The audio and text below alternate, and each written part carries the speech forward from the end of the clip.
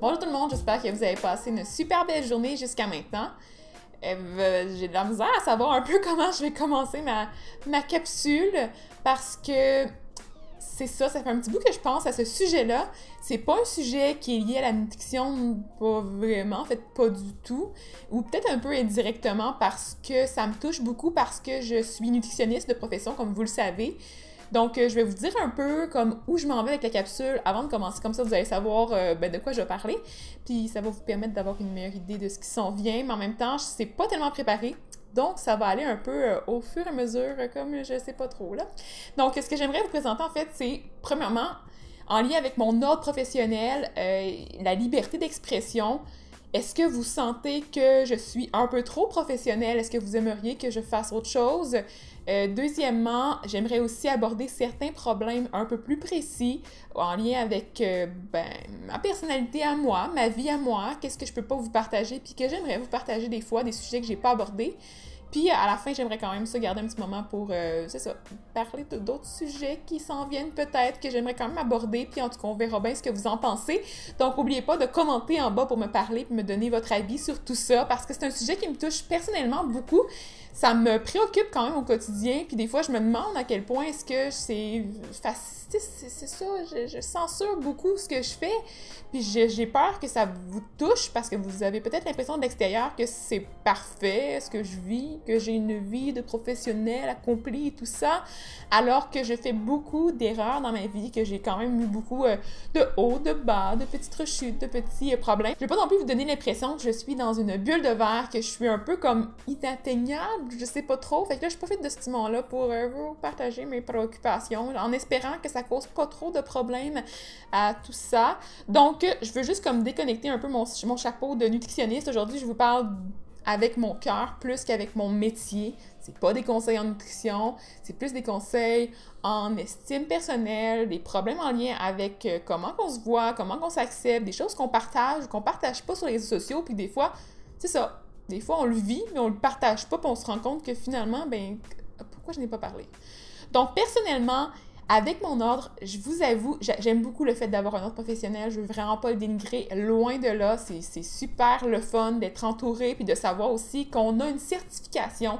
Donc, en étant membre de l'ordre, on peut vraiment confirmer en fait qu'on est des professionnels de la santé accomplis, qu'on est euh, aussi membre d'une communauté qui nous entraide, qu'on a aussi un certificat qui prouve qu'on a les compétences nécessaires pour exercer notre profession. Donc on a souvent, bon, obligatoirement un baccalauréat, mais il y en a plusieurs aussi d'entre nous qui ont une maîtrise et même des doctorats et des post-doc dans, la... plusieurs cas aussi. Donc je connais quand même plusieurs personnes qui ont des post-doc, ce que je trouve assez fou. Mais en même temps, je trouve ça dommage de rester dans le style professionnel qui est très, très médical. Même si j'adore le, point de vue médical, j'adore le côté science de la santé, j'aime beaucoup donner des conseils qui sont approuvés par la littérature scientifique, tout ça. Mais des fois, je me dis que, ben, il y a d'autres choses, que c'est vraiment ce que j'ai vécu, c'est vraiment mon avis personnel qui vient de mon cœur à moi, puis des fois, j'ai peur de vous le partager parce que j'ai peur de me faire un petit peu euh, mal percevoir par les gens de l'extérieur, puis peut-être que ça donne une mauvaise euh, avis des professionnels, alors que ça devrait pas être le cas. Je devrais pas me sentir confinée là-dedans, je devrais pas me sentir coincée. Fait c'est ça aujourd'hui, je veux juste partager ça. J'ai l'impression que parfois je censure des choses. Fait que je sais pas si de votre côté vous, vous ressentez ça, vous ressentez que j'ai une espèce de malaise à vous partager ma vie, alors que Pourtant, ça me fait plaisir de vous partager des faits de ma vie personnelle parce que, en même temps, bon, il y a certains trucs que je ne vais pas vous partager, bien sûr, parce que j'ai quand même une vie privée, mais je trouve ça vraiment plaisant, moi, de mon côté, d'avoir des personnes que je suis sur les réseaux sociaux, puis que j'ai l'impression qu'ils sont vraiment authentiques, qui me partagent des vrais faits sur leur vie, que leur vie est parfois rose, mais parfois aussi qu'elle est un peu plus sombre ça arrive dans la vie, puis ça arrive à tout le monde, puis je trouve ça plat d'être obligé de juste mettre des super belles photos de bouffe, de mettre des super belles photos de moi quand je suis toute organisée, maquillée. J'aurais dû même faire la capsule pas maquillée pour vous montrer parce que j'ai pas l'air de ça au naturel et je suis jamais maquillée comme ça dans la vraie vie. Je fais vraiment un effort considérable pour manger. Euh, même, euh, tu sais, je veux dire, je vais vous partager à la fin d'autres faits sur ma vie parce que je, je suis une personne tellement normale, limite bizarre, puis je, le partage pas, puis genre, je suis comme, je suis sûre que je suis pas la seule à faire ça, fait que jusqu'à la fin, parce que éventuellement, je vais arriver à des moments un peu plus croustillants. Je vais aborder un peu les petits aspects un peu plus croustillants sur ma personnalité, mais comme je vous dis, je me maquille pas normalement. J'ai pas l'impression que c'est nécessaire de le faire au quotidien. Je le sais que j'ai l'air fatiguée quand je sors, puis je m'en fous. Souvent, je vais au gym pas maquillée, je vais faire des piscines pas maquillée, je en fait, je fais pas mal de tout pas maquillée, puis j'ai pas de problème avec ça. Donc ça, c'est un aspect que je trouve important à aborder parce que souvent, quand on regarde les réseaux sociaux, on voit soit les filles sont pas maquillées, mais ils ont quand même l'air hyper resplendissantes parce qu'ils sont sur une plage, puis sont bien heureuses, puis il y a du soleil, puis il y a un beau petit tan, puis sont super de bonne humeur. Puis soit on voit les filles qui sont quand même très maquillées, puis moi je suis pas bonne en maquillage, comme vous avez pu voir, je porte pratiquement toujours le même style de maquillage parce que je suis pas tellement originale. J'aime ça maquiller par contre, mais je suis pas tellement originale, donc si vous avez des conseils à me donner aussi à ce sujet-là, j'avoue j'en prendrais des conseils parce que je suis vraiment nulle. Puis euh, c'est ça, pour le maquillage, j'avais envie de vous en parler, veux juste vous confier ça, que je suis pas comme je suis pas comme ça dans la vraie vie. Si vous me rencontrez, je vous pas de me parler aussi parce que j'ai l'impression que je pense a personne depuis que je fais ça donc, depuis quand même presque deux ans que je suis sur YouTube, il y a personne qui est venu me parler pour me dire Hey, tu sais, je te connais, quelque chose du genre. Puis, c'est pas parce que je me dis Ah, c'est sûr que tout le monde me connaît, tu sais, je suis populaire, donc vraiment loin de là. Mais je me dis en même temps, c'est parce que les gens me reconnaissent pas parce que je suis trop maquillée dans mes vidéos. Même si dans mes vlogs, je suis pas aussi maquillée, des fois je me dis Ben, peut-être que les gens, ils savent pas je suis qui dans la vraie vie. Donc, c'est ça.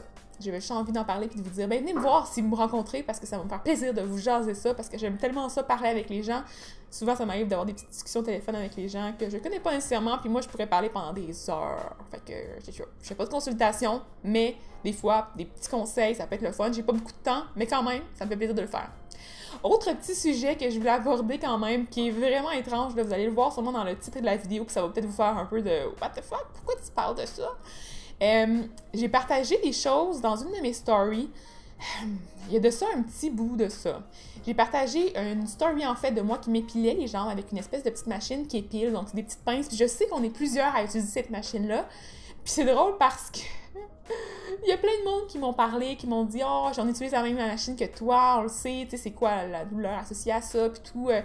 Bon, ok, c'est un peu désagréable comme machine, mais ça fonctionne super bien, ça fait des poils incarnés, même là. Puis c'est des sujets que je trouve drôle à aborder, que je trouve le fun, mais parce que je suis nutritionniste, parce que j'ai le titre de BTP, donc le petit mot qui est à la fin de mon nom, là, ça veut dire quelque chose. En fait, c'est vraiment l'abréviation pour être professionnel en nutrition, avoir son baccalauréat, et le MSC, que j'ajoute pas normalement, mais que j'ai quand même sur mon nom en fait, techniquement, c'est pour la maîtrise en nutrition.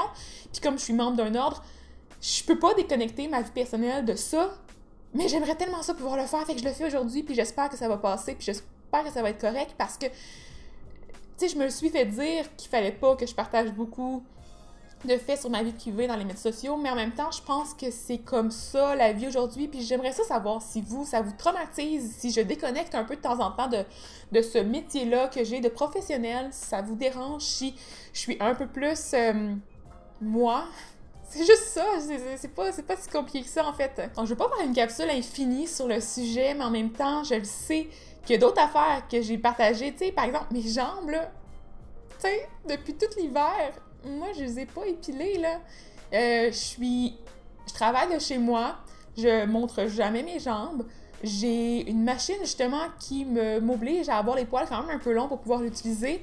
Donc je me dis que si je rase mes jambes, ben garde, mes poils seront pas assez longs puis euh, je pourrais pas le faire à la machine, mais je procrastine l'utilisation de la machine parce que premièrement, c'est douloureux. Deuxièmement, je vois pas l'intérêt d'arracher mes poils en ce moment quand euh, j'en ai pas tant que ça parce que j'ai eu quand même euh, de l'épilation laser avant. Donc ils sont longs, oui, c'est pas très cute, mais en même temps, pourquoi est-ce que ce serait pas très cute?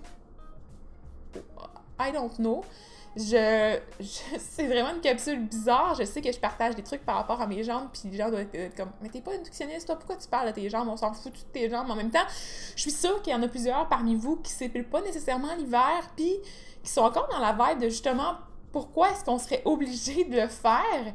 Quand euh, notre copain ou quand nous on est à l'aise avec ça, quand on se sent bien dans notre peau comme ça, puis au naturel, on a des poils, les femmes, hein, tu sais, c'est quand même quelque chose qui est normal, qui est naturel, qui qu'on devrait trouver correct, mais qu'on a banni dans notre société, puis je trouve ça plate de se sentir dégueulasse parce qu'on a les jambes poilues. Pourquoi? Pourquoi on pourrait pas juste enjoy ça? Puis quand j'en ai parlé dans ma story, mon coup, ça m'est arrivé d'avoir des commentaires de femmes qui me disaient Mais pourquoi tu te sens pas aussi féminine si tu t'es pas épilé les jambes? J'étais comme Pourquoi, hein? Pourquoi je me sens pas féminine quand j'ai les jambes poilues? Tu sais, je vous le montrerai pas aujourd'hui. Je, ben, je pourrais là, vous le montrer, mes jambes, mais ah, sérieusement, là, sont poilus, puis ils sont pas. Tu sais, on s'en fout, mon cou, comment votre poil est, comment mon poil est, c'est différent, c'est personnel, mais en même temps, pourquoi on se cacherait? Là, je suis venue à me demander pourquoi est-ce que je continuerais pas à pas m'épiler les jambes. en tout cas, je pourrais vous en parler. Vous m'en parlez dans les commentaires, on peut avoir des discussions là-dessus. Je vous incite aussi fortement à commenter, mais aussi à interagir avec les autres parce que c'est le fun des fois de répondre aux commentaires des autres puis de s'entraider. Donc, euh, vous, est-ce que ça vous est arrivé justement d'avoir des trucs comme ça dans votre vie que vous aimeriez partager puis que vous vous dites, mais voyons, je suis la seule à faire ça?